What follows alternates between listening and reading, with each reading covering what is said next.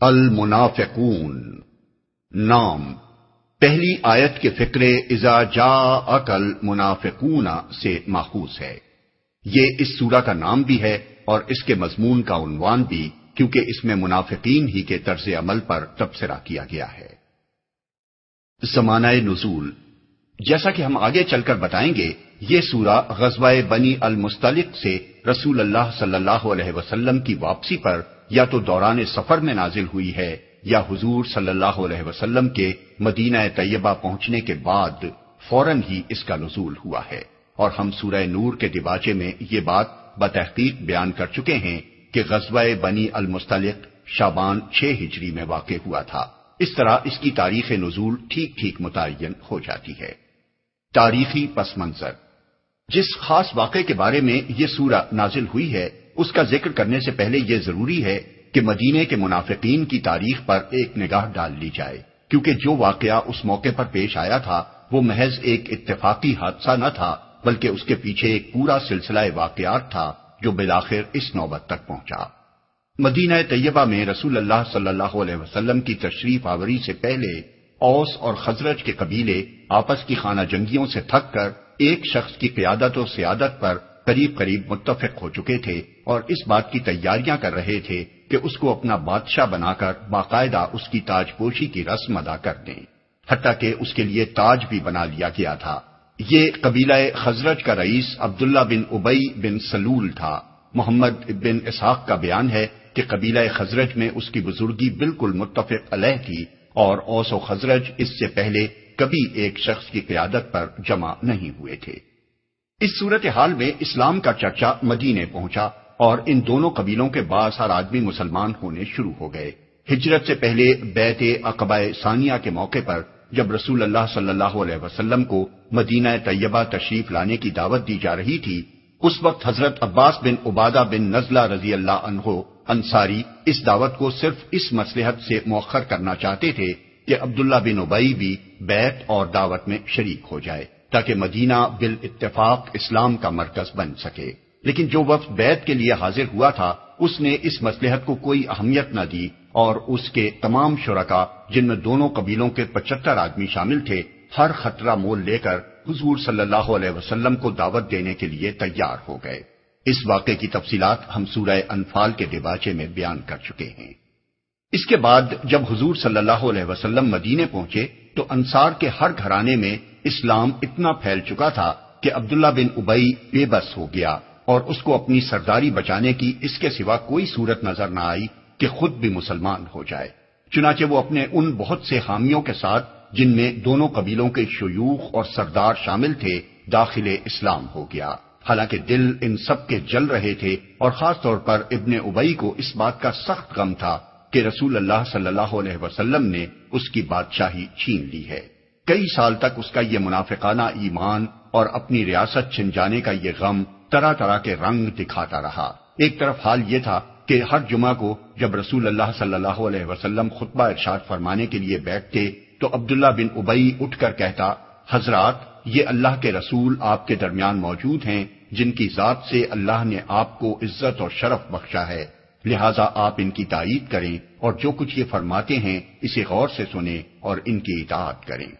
دوسری طرف کیفیت یہ تھی کہ روز بروز اس کی منافقت کا پردہ چاک ہوتا چلا جا رہا تھا اور مخلص مسلمانوں پر یہ بات کھلتی چلی جاتی تھی کہ وہ اور اس کے ساتھی اسلام اور رسول اللہ صلی اللہ علیہ وسلم اور گروہ اہل ایمان سے سخت بغض رکھتے ہیں۔ ایک مرتبہ حضور صلی اللہ علیہ وسلم کسی راستے سے گزر رہے تھے کہ ابن ابئی نے آپ کے ساتھ بدتمیزی کی۔ آپ نے حضرت سعد بن عبادہ سے اس کی شکایت فرمائی تو انہوں نے عرض کیا، یا رسول اللہ، اس شخص کے ساتھ نرمی برتیے، آپ کی تشریف آوری سے پہلے ہم اس کے لیے تاج شاہی تیار کر رہے تھے۔ اب یہ سمجھتا ہے کہ آپ نے اس سے بادشاہی چھین لی ہے۔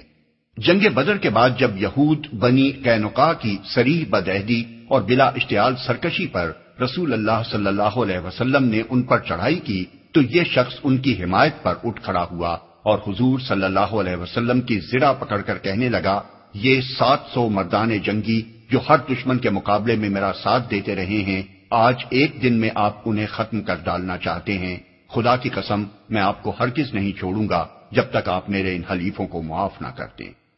جنگ عہد کے موقع پر اس شخص نے سری غداری کی اور عین وقت پر اپنے تین سو ساتھیوں کو لے کر میدان جنگ سے الٹا واپس آ گیا۔ جس نازک گھڑی میں اس نے یہ حرکت کی تھی، اس کی نزاکت کا اندازہ اس بات سے کیا جا سکتا ہے کہ قریش کے لوگ تین ہزار کا لشکر لے کر مدینے پر چڑھ آئے تھے۔ اور رسول اللہ صلی اللہ علیہ وسلم ان کے مقابلے میں صرف ایک ہزار آدمی ساتھ لے کر مدافعت کے لیے نکلے تھے۔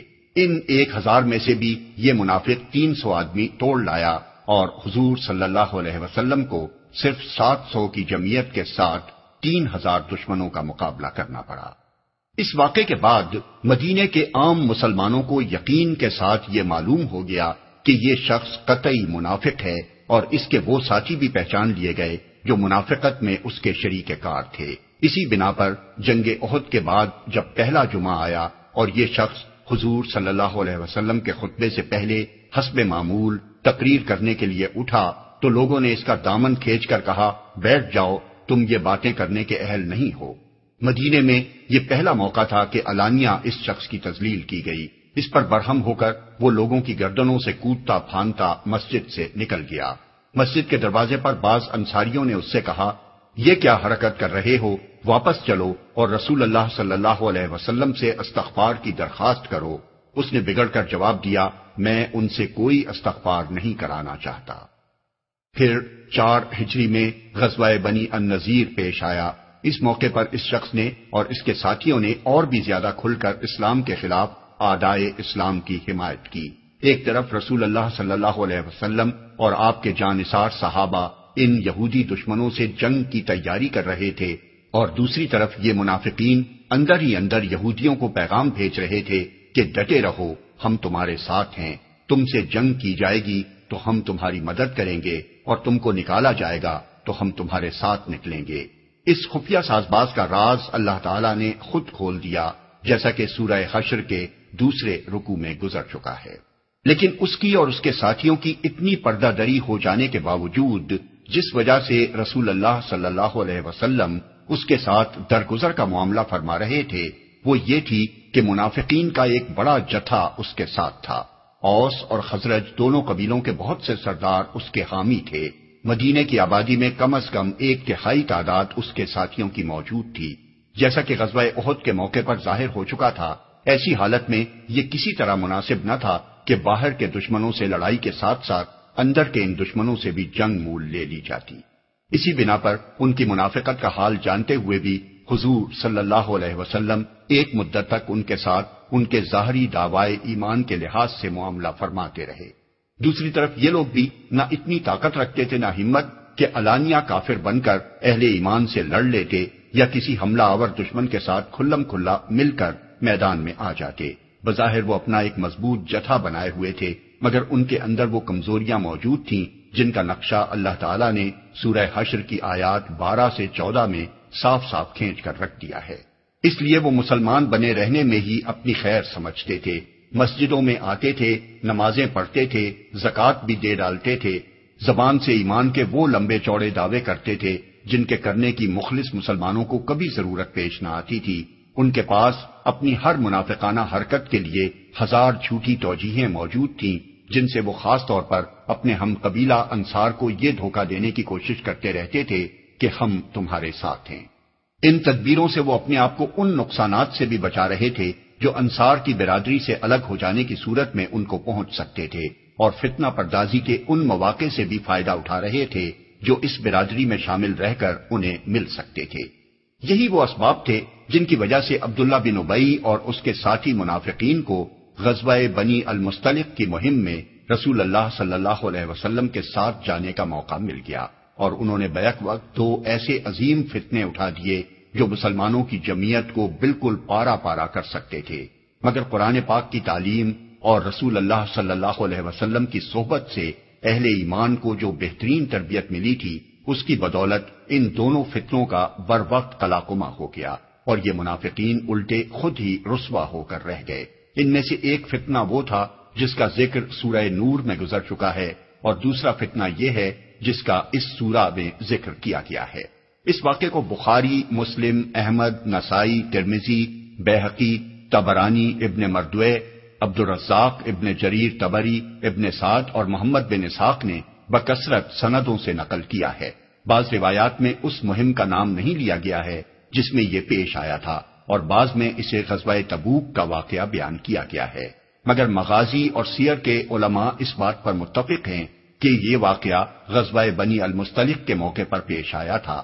صورت واقعہ تمام روایات کو جمع کرنے سے یہ معلوم ہوتی ہے، بنی المستلق کو شکست دینے کے بعد ابھی لشکر اسلام اس بستی میں ٹھہرا ہوا تھا، جو مریسی نامی کنویں پر آباد تھی کہ یکا یک پانی پر دو صاحبوں کا جھگڑا ہو گیا۔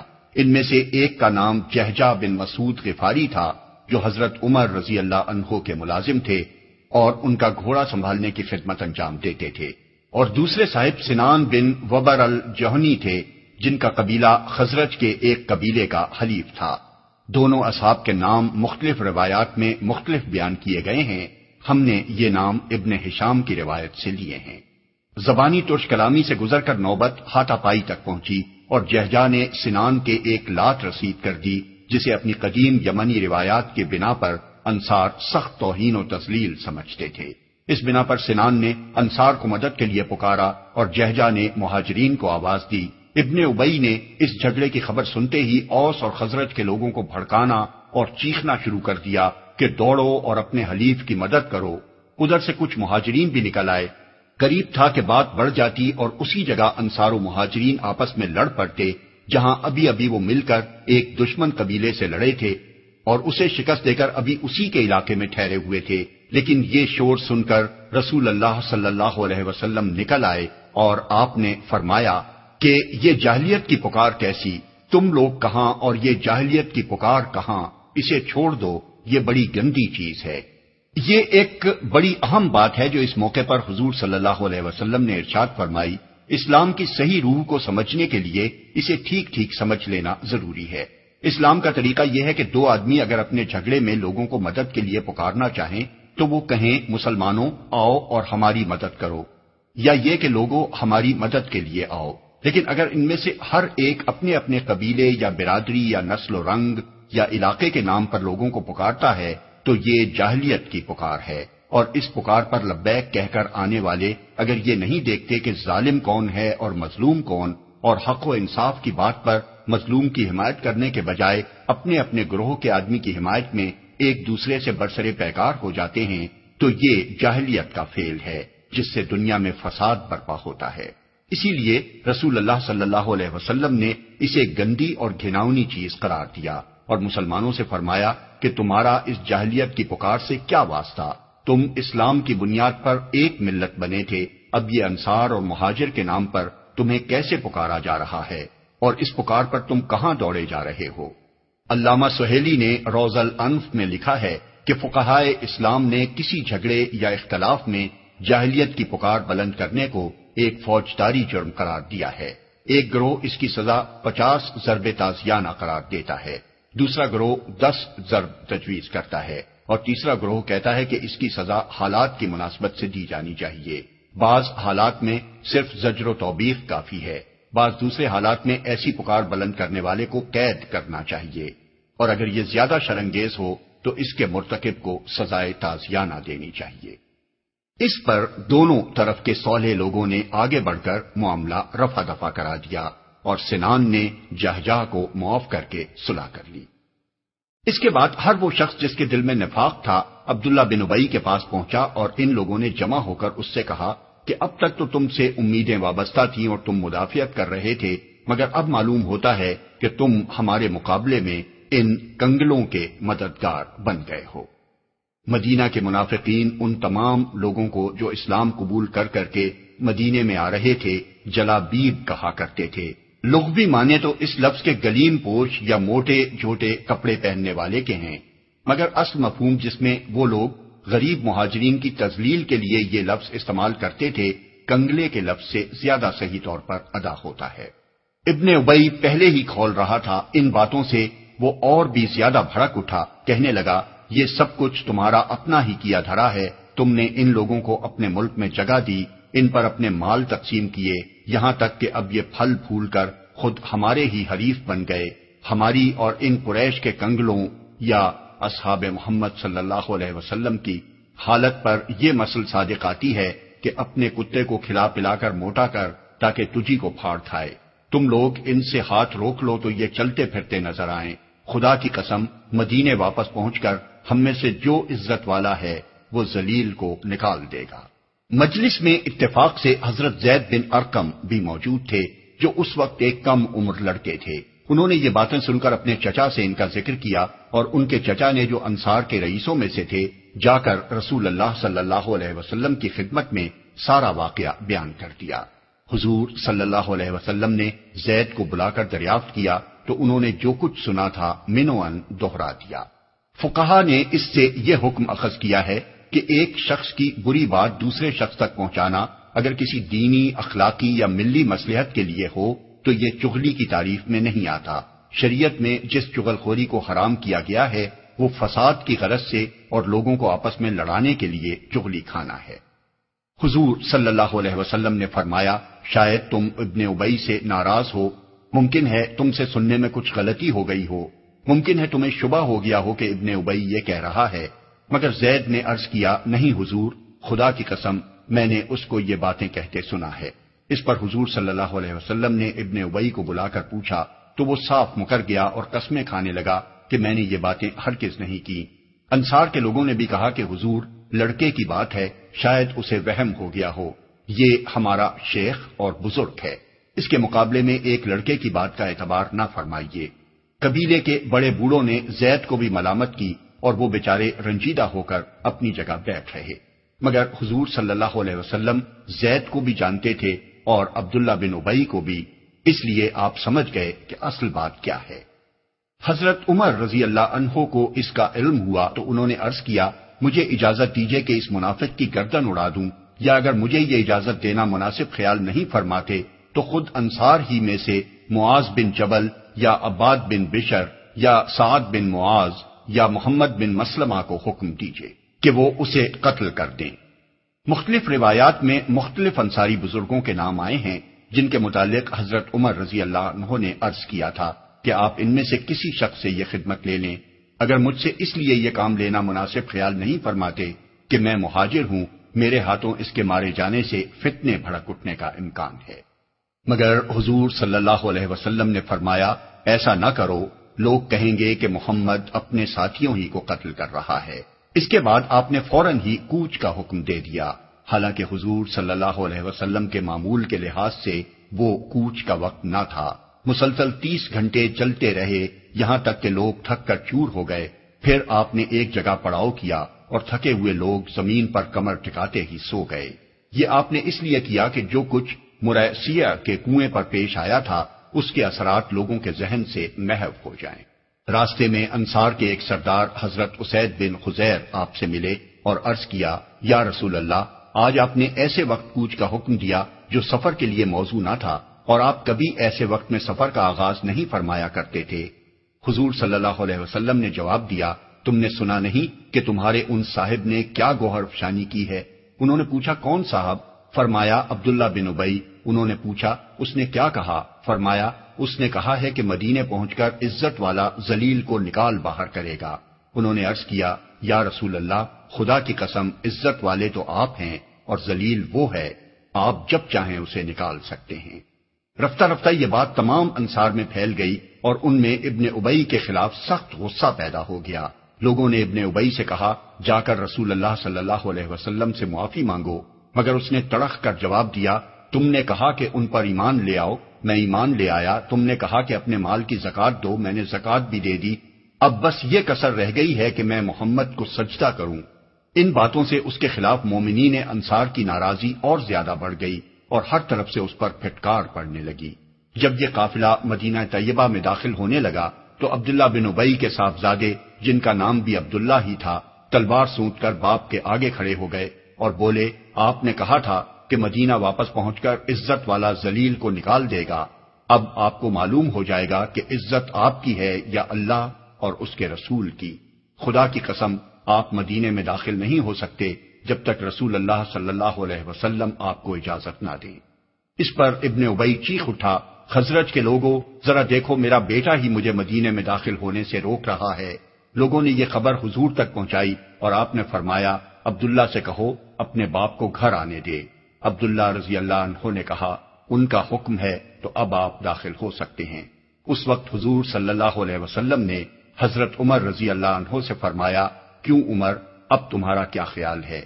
جس وقت تم نے کہا تھا کہ مجھے اس کو قتل کرنے کی اجازت دیجیے اس وقت اگر تم اسے قتل کر دیتے تو بہت سی ناکیں اس پر پھڑکنے لگتی آج اگر میں اس کے قتل کا حکم دوں تو اسے قتل تک کیا جا سکتا ہے۔ حضرت عمر رضی اللہ عنہ نے عرض کی، خدا کی قسم اب مجھے معلوم ہو گیا کہ اللہ کے رسول کی بات میری بات سے زیادہ مبنی پر حکمت تھی۔ اس سے دو اہم شرعی مسئلوں پر روشنی پڑتی ہے۔ ایک یہ کہ جو طرز عمل ابن ابئی نے اختیار کیا تھا، اگر کوئی شخص مسلم ملت میں رہتے ہوئے اس طرح کا رویہ اختیار کرے تو وہ قتل کا مستحق ہے۔ دوسرے یہ کہ محض قانون کسی شخص کے مستحق قتل ہو جانے سے یہ لازم نہیں آتا کہ ضرور اسے قتل ہی کر دیا جائے۔ ایسے کسی فیصلے سے پہلے یہ دیکھنا چاہیے کہ آیا اس کا قتل کسی عظیم تر فتنے کا موجب تو نہ بن جائے گا۔ حالات سے آنکھیں بند کر کے قانون کا اندھا دھند استعمال بعض اوقات اس مقصد کے خلاف بالکل الٹا نتیجہ پیدا کر دیتا ہے جس کے لیے قانون استعمال کیا جاتا ہے۔ اگر ایک منافق اور مفسد آدمی کے پیچھے کوئی قابل لحاظ سیاسی طاقت موجود ہو تو اسے سزا دے کر مزید فتنوں کو سر اٹھانے کا موقع دینے سے بہتر ہے کہ حکمت اور تدبر کے ساتھ اس اصل سیاسی طاقت کا استحصال کر دیا جائے۔ جس کے بل پر وہ شرارت کر رہا ہو۔ یہی مسلحت تھی جس کی بنا پر حضور صلی اللہ علیہ وسلم نے عبداللہ بن ابئی کو اس وقت بھی سزا نہ دی جب آپ اسے سزا دینے پر قادر تھے، بلکہ اس کے ساتھ برابر نرمی کا سلوک کرتے رہے۔ یہاں تک کہ دو تین سال کے اندر مدینے میں منافقین کا زور ہمیشہ کے لیے ٹوٹ گیا۔ یہ تھے وہ حالات جن میں یہ صورت اغلب یہ ہے کہ حضور صلی اللہ علیہ وسلم کے مدینہ پہنچنے کے بعد نازل ہوئی۔ بسم اللہ الرحمن الرحیم۔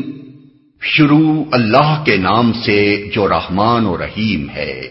اذا جاءك المنافقون قالوا نشهد انك لرسول الله والله يعلم انك لرسوله والله يشهد ان المنافقين لكاذبون اے نبی، جب یہ منافق تمہارے پاس آتے ہیں تو کہتے ہیں، ہم گواہی دیتے ہیں کہ آپ یقیناً اللہ کے رسول ہیں۔ ہاں اللہ جانتا ہے کہ تم ضرور اس کے رسول ہو، مگر اللہ گواہی دیتا ہے کہ یہ منافق قطعی جھوٹے ہیں۔ یعنی جو بات وہ زبان سے کہہ رہے ہیں، وہ ہے تو بجائے خود سچی، لیکن چونکہ ان کا اپنا عقیدہ وہ نہیں ہے جسے وہ زبان سے ظاہر کر رہے ہیں، اس لیے اپنے اس قول میں وہ جھوٹے ہیں کہ وہ آپ کے رسول ہونے کی شہادت دیتے ہیں۔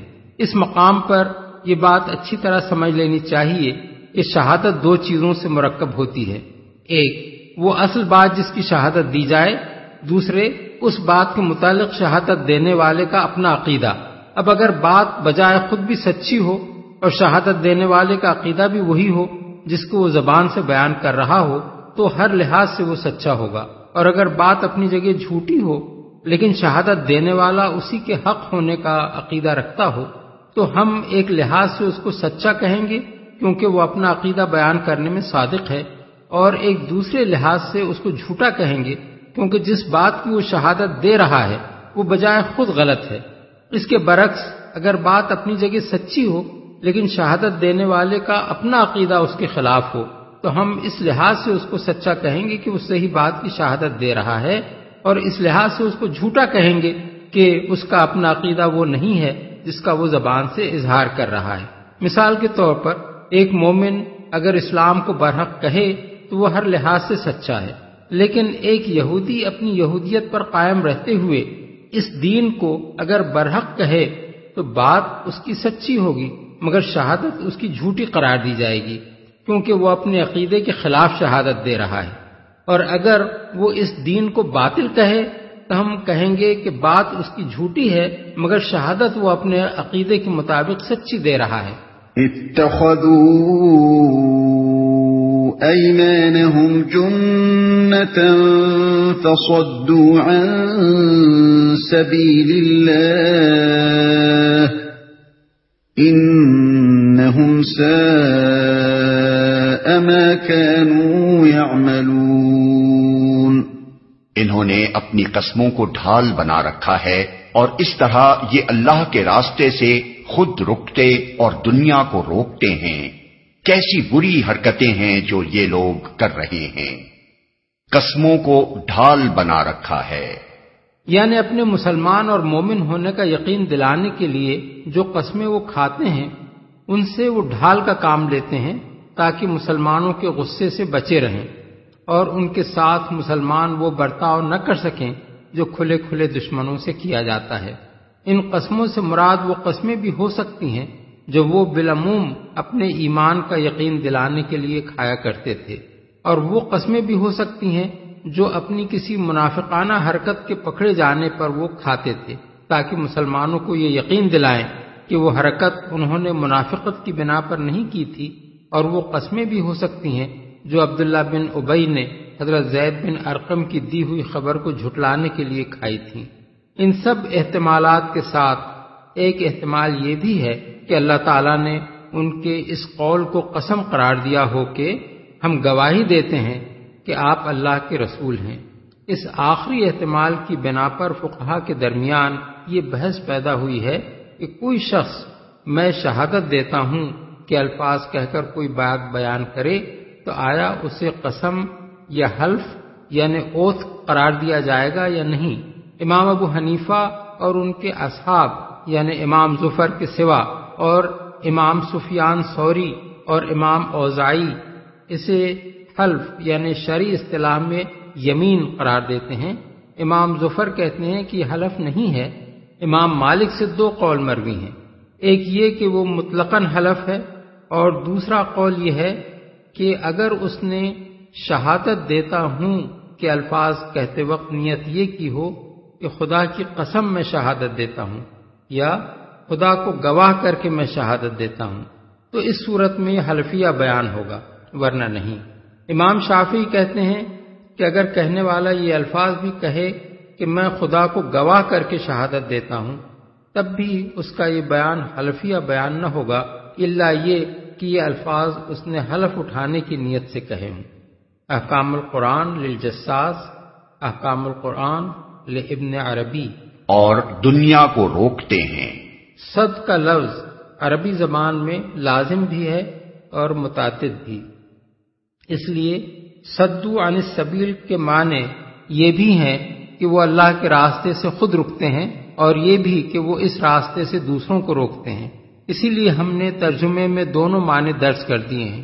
پہلے معنی کے لحاظ سے مطلب یہ ہوگا کہ اپنی ان قسموں کے ذریعے سے مسلمانوں کے اندر اپنی جگہ محفوظ کر لینے کے بعد وہ اپنے لیے ایمان کے تقاضے پورے نہ کرنے اور خدا و رسول کی اطاعت سے پہلو تہی کرنے کی آسانیاں پیدا کر لیتے ہیں۔ دوسرے معنی کے لحاظ سے مطلب یہ ہوگا کہ اپنی ان جھوٹی قسموں کی آڑ میں وہ شکار کھیلتے ہیں۔ مسلمان بن کر مسلمانوں کی جماعت میں اندر سے رکھنے ڈالتے ہیں۔ مسلمانوں کے اسرار سے واقف ہو کر دشمنوں کو ان کی خبریں پہنچاتے ہیں۔ اسلام سے غیر مسلموں کو بدگمان کرنے اور سادہ لو مسلمانوں کے دلوں میں شبہات اور وسوسے ڈالنے کے لیے وہ وہ حربے استعمال کرتے ہیں جو صرف ایک مسلمان بنا ہوا منافق ہی استعمال کر سکتا ہے۔ کھلا کھلا دشمن اسلام ان سے کام نہیں لے سکتا۔ ذلك بأنهم آمنوا ثم كفروا فطبع على قلوبهم فهم لا يفقهون۔ یہ سب کچھ اس وجہ سے ہے کہ ان لوگوں نے ایمان لا کر پھر کفر کیا، اس لیے ان کے دلوں پر مہر لگا دی گئی۔ اب یہ کچھ نہیں سمجھتے۔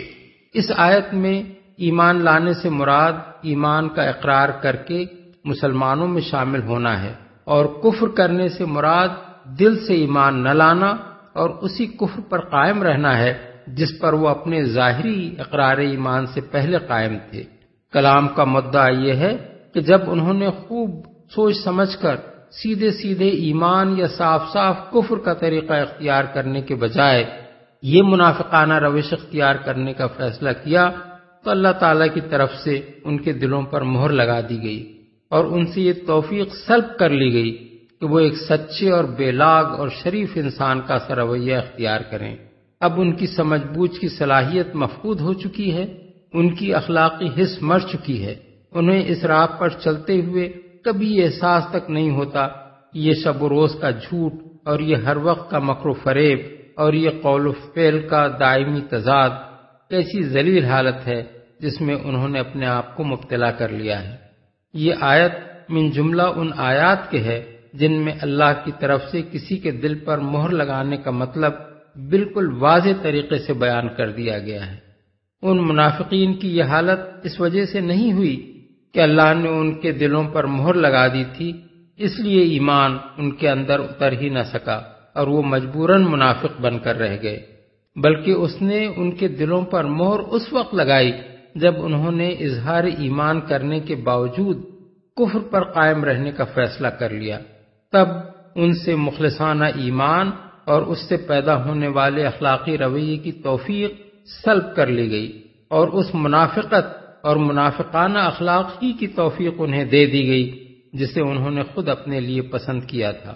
وَإِذَا رَأَيْتَهُمْ تُعْجِبُكَ أَجْسَامُهُمْ وَإِن يَقُولُوا تَسْمَعْ لِقَوْلِهِمْ كَأَنَّهُمْ خُشُبٌ مُسَنَّدَةٌ كأنهم خشب مسندة يحسبون كل صيحة عليهم هم العدو فاحذرهم قاتلهم الله أنا يؤفكون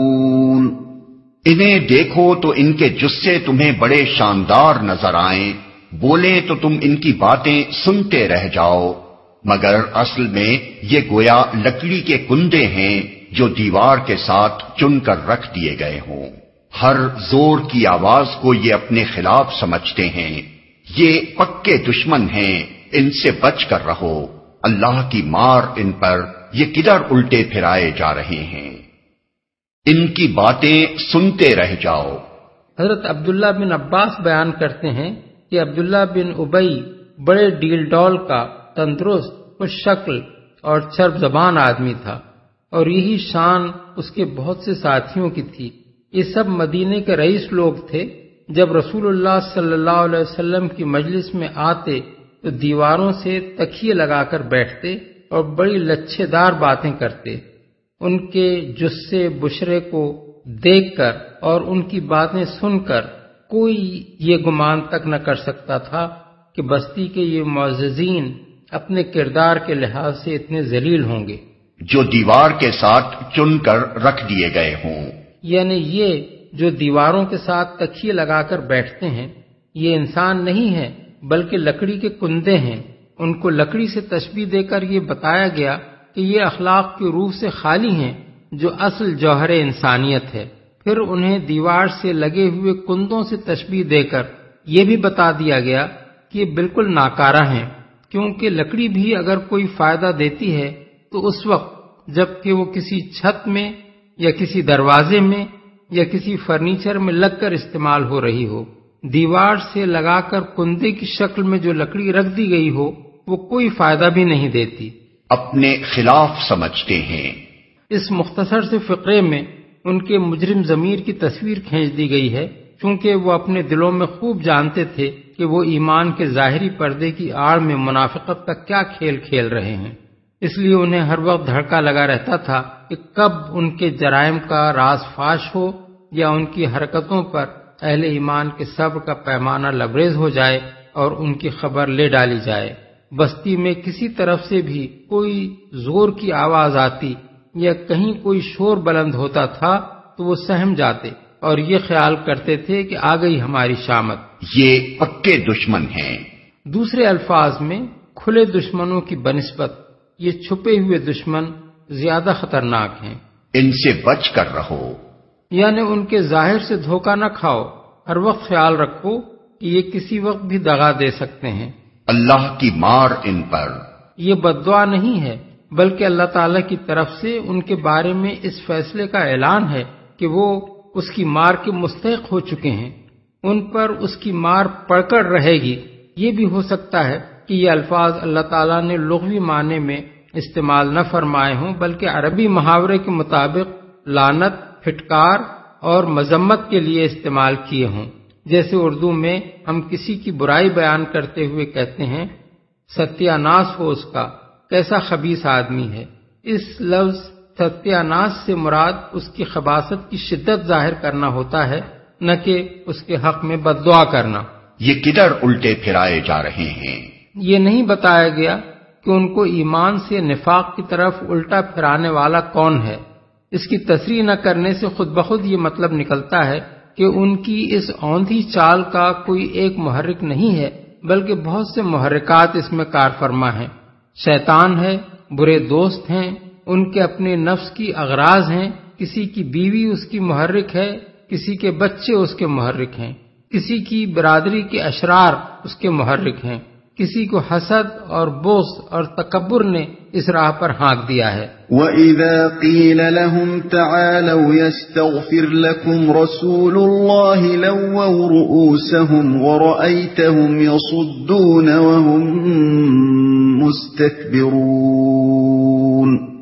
اور جب ان سے کہا جاتا ہے کہ آؤ، تاکہ اللہ کا رسول تمہارے لیے مغفرت کی دعا کرے، تو سر جھٹکتے ہیں اور تم دیکھتے ہو کہ وہ بڑے گھمنڈ کے ساتھ آنے سے رکتے ہیں۔ صرف اسی پر اکتفا نہیں کرتے کہ رسول کے پاس استغفار کے لیے نہ آئیں، بلکہ یہ بات سن کر غرور اور تمکنت کے ساتھ سر کو جھٹکا دیتے ہیں۔ اور رسول کے پاس آنے اور معافی طلب کرنے کو اپنی توہین سمجھ کر اپنی جگہ جمے بیٹھے رہتے ہیں۔ یہ ان کے مومن نہ ہونے کی کھلی علامت ہے۔ سواء عليهم أستغفرت لهم أم لم تستغفر لهم لن يغفر الله لهم إن الله لا يهدي القوم الفاسقين اے نبی تم چاہے ان کے لیے مغفرت کی دعا کرو یا نہ کرو ان کے لیے یکساں ہے۔ اللہ ہرگز انہیں معاف نہ کرے گا۔ اللہ فاسق لوگوں کو ہرگز ہدایت نہیں دیتا۔ ہرگز انہیں معاف نہ کرے گا۔ یہ بات سورہ توبہ میں جو سورہ منافقون کے تین سال بعد نازل ہوئی ہے اور زیادہ تاکید کے ساتھ فرما دی گئی ہے۔ اس میں اللہ تعالیٰ نے رسول اللہ صلی اللہ علیہ وسلم کو مخاطب کر کے منافقین کے متعلق فرمایا کہ تم چاہے ان کے لیے استغفار کرو یا نہ کرو۔ اگر تم ستر مرتبہ بھی ان کے لیے دعائیں مغفرت کرو گے تو اللہ ان کو ہرگز معاف نہ کرے گا۔ یہ اس لیے کہ انہوں نے اللہ اور اس کے رسول سے کفر کیا ہے اور اللہ فاسق لوگوں کو ہدایت نہیں دیا کرتا۔ سورہ توبہ آیت اسی۔ آگے چل کر پھر فرمایا اگر ان میں سے کوئی مر جائے تو اس کی نماز جنازہ کبھی نہ پڑھنا اور نہ اس کی قبر پر کھڑے ہونا۔ ان لوگوں نے اللہ اور اس کے رسول سے کفر کیا ہے اور یہ فاسق ہونے کی حالت میں مرے ہیں۔ سورہ توبہ آیت چوراسی۔ ہرگز ہدایت نہیں دیتا۔ اس آیت میں دو مضمون بیان کیے گئے ہیں۔ ایک یہ کہ دعائیں مغفرت صرف ہدایت یافتہ لوگوں ہی کے حق میں مفید ہو سکتی ہے۔ جو شخص ہدایت سے پھر گیا ہو اور جس نے اطاعت کے بجائے فسق و نافرمانی کی راہ اختیار کر لی ہو، اس کے لیے کوئی عام آدمی تو درکنار خود اللہ کا رسول بھی مغفرت کی دعا کرے تو اسے معاف نہیں کیا جا سکتا۔ دوسرے یہ کہ ایسے لوگوں کو ہدایت بخشنا اللہ کا طریقہ نہیں ہے جو اس کی ہدایت کے طالب نہ ہو اگر ایک بندہ خود اللہ تعالی کی ہدایت سے منہ موڑ رہا ہو، بلکہ ہدایت کی طرف اسے بلایا جائے، تو سر جھٹک کر غرور کے ساتھ اس دعوت کو رد کر دے۔ تو اللہ کو کیا ضرورت پڑی ہے کہ اس کے پیچھے پیچھے اپنی ہدایت لیے پھرے اور خوشامد کر کے اسے راہ راست پر لائے۔ هم الذين يقولون لا تنفقوا على من عند رسول الله حتى ينفضوا ولله خزائن خزائن السماوات والأرض، ولكن المنافقين لا يفقهون. یہ وہی لوگ ہیں جو کہتے ہیں کہ رسول کے ساتھیوں پر خرچ کرنا بند کر دو تاکہ یہ منتشر ہو جائیں۔ حالانکہ زمین اور آسمانوں کے خزانوں کا مالک اللہ ہی ہے۔ مگر یہ منافق سمجھتے نہیں ہیں۔ يقولون لئن رجعنا إلى المدينة ليخرجن الأعز منها الأذل ولله العزة ولرسوله وللمؤمنين ولكن المنافقين لا يعلمون۔ یہ کہتے ہیں کہ ہم مدینے واپس پہنچ جائیں تو جو عزت والا ہے وہ ذلیل کو وہاں سے نکال باہر کرے گا۔ حالانکہ عزت تو اللہ اور اس کے رسول اور مومنین کے لیے ہے، مگر یہ منافق جانتے نہیں ہیں۔ وہاں سے نکال باہر کرے گا۔ حضرت زید بن ارقم کہتے ہیں کہ جب میں نے عبداللہ بن ابئی کا یہ قول رسول اللہ صلی اللہ علیہ وسلم تک پہنچایا اور اس نے آ کر صاف انکار کر دیا اور اس پر قسم کھا گیا تو انصار کے بڑے بوڑھوں نے اور خود میرے اپنے چچا نے مجھے بہت ملامت کی، حتیٰ کہ مجھے یہ محسوس ہوا کہ حضور نے بھی مجھے جھوٹا اور عبداللہ بن ابئی کو سچا سمجھا ہے۔ اس چیز سے مجھے ایسا غم لاحق ہوا جو عمر بھر کبھی نہیں ہوا اور میں دل گرفتہ ہو کر اپنی جگہ بیٹھ گیا۔ پھر جب یہ آیات نازل ہوئیں تو رسول اللہ صلی اللہ علیہ وسلم نے مجھے بلا کر ہنستے ہوئے میرا کان پکڑا اور فرمایا لڑکے کا کان سچا تھا اللہ نے اس کی خود تصدیق فرما دی۔ بروایت ابن جریر ترمزی میں بھی اس سے ملتی جلتی روایت موجود ہے۔ اللہ اور اس کے رسول اور مومنین کے لیے ہے۔ ان عزت اللہ کے لیے بذات مخصوص ہے اور رسول کے لیے بربنائے رسالت اور مومنین کے لیے بربنائے ایمان رہے کفار و فساق و منافقین تو حقیقی عزت میں سرے سے ان کا کوئی حصہ ہی نہیں ہے۔ يا أيها الذين آمنوا لا تلهكم أموالكم ولا أولادكم عن ذكر الله ومن يفعل ذلك فأولئك هم الخاسرون اے لوگو، جو ایمان لائے ہو، تمہارے مال اور تمہاری اولادیں تم کو اللہ کی یاد سے غافل نہ کر دیں۔ جو لوگ ایسا کریں، وہی خسارے میں رہنے والے ہیں۔ اے لوگو، جو ایمان لائے ہو اب تمام ان لوگوں کو جو دائرہ اسلام میں داخل ہوں قطع نظر اس سے کہ سچے مومن ہوں یا محض زبانی اقرار ایمان کرنے والے، عام خطاب کر کے ایک کلمہ نصیحت ارشاد فرمایا جا رہا ہے۔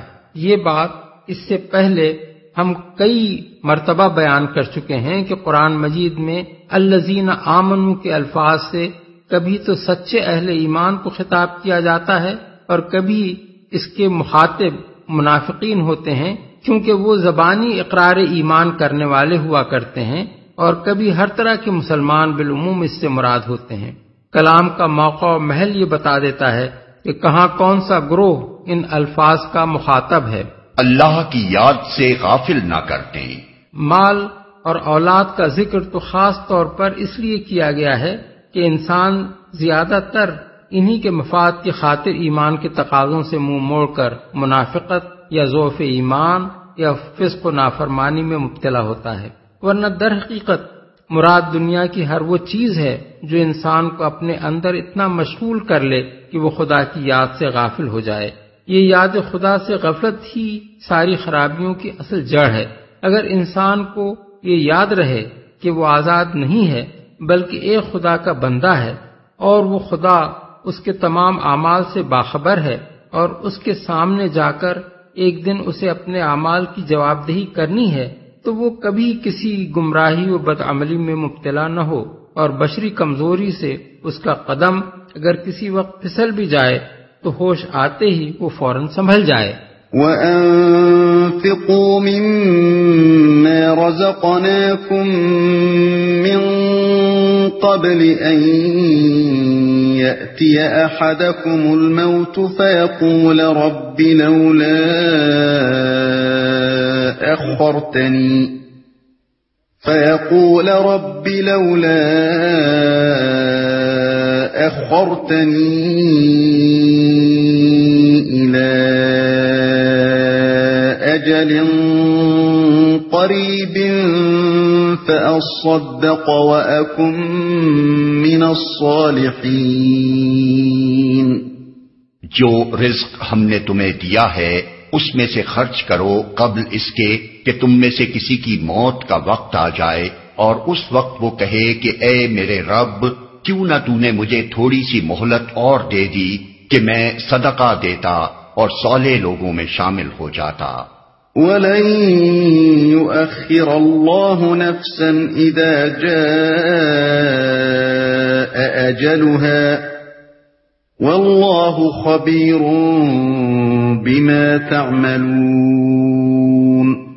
حالانکہ جب کسی کی مہلت عمل پوری ہونے کا وقت آ جاتا ہے، تو اللہ اس کو ہرگز مزید مہلت نہیں دیتا۔ اور جو کچھ تم کرتے ہو، اللہ اس سے باخبر ہے۔